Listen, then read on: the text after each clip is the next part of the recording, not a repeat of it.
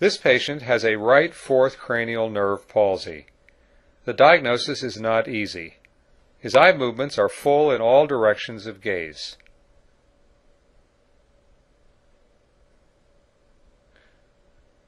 When he looks straight ahead, his right eye is slightly higher than his left eye, as shown here with the cover test.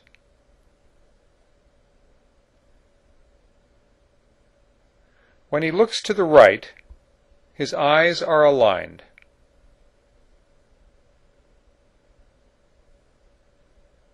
But when he looks to the left, his right eye is much higher than his left eye.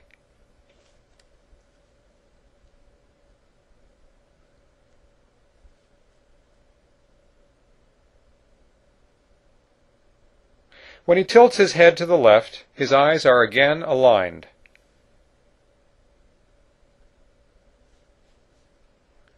But when he tilts his head to the right, the right eye is higher than the left.